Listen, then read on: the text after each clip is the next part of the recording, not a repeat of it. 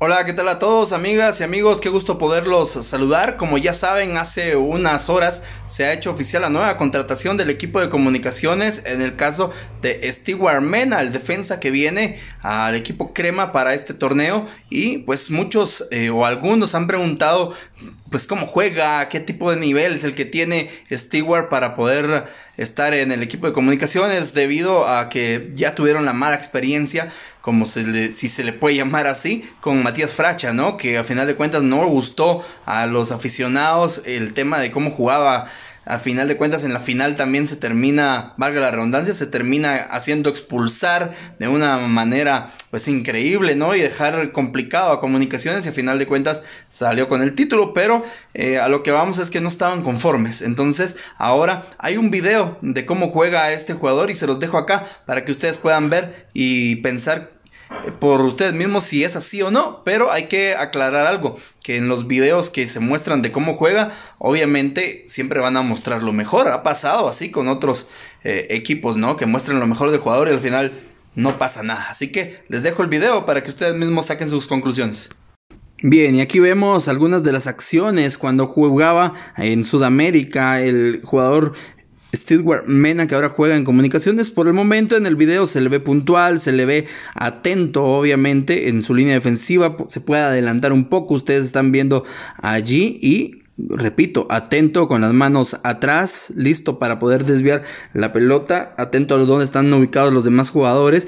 Pareciera ser también que tiene buen trato de balón con el, con el pie, ¿no? El despeje hacia la cabeza de uno de sus compañeros, buena visualización del campo para poder mandar la pelota hacia afuera, donde no hay absolutamente nadie, donde no hay un rematador del equipo contrario y también parece que el juego aéreo se le da. Aquí lo vimos haciendo una anotación importante, buen cabezazo que termina mandando al poste y el guardameta no tiene nada que hacer.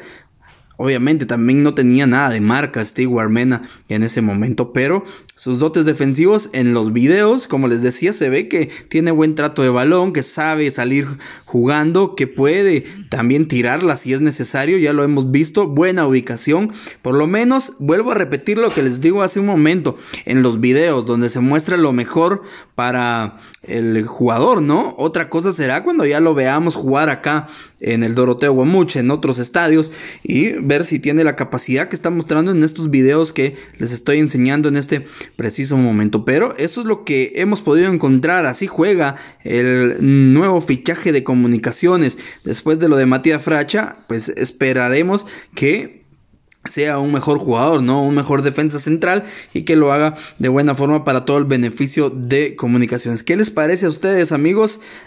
Amigos aficionados de comunicaciones de otros equipos, como ustedes lo quieran ver, ¿les parece buen jugador? Por lo menos en los videos, porque repito, tendremos que verlo ya cuando esté aquí, ¿no? Cuando esté jugando acá en un equipo que le exige bastante, en una afición que exige mucho, que cada equipo que llega o que ellos mismos visitan les quieren sacar los puntos definitivamente, así que ya lo veremos, porque me imagino que no es lo mismo estar en el Alianza que estar en comunicaciones en Guatemala, ¿no? Así que, ¿qué les parece a ustedes cómo se ve este jugador defensa colombiano de 29 años y zurdo, además de todo? Así que, pues, espero sus comentarios para saber qué opinan del jugador de comunicaciones.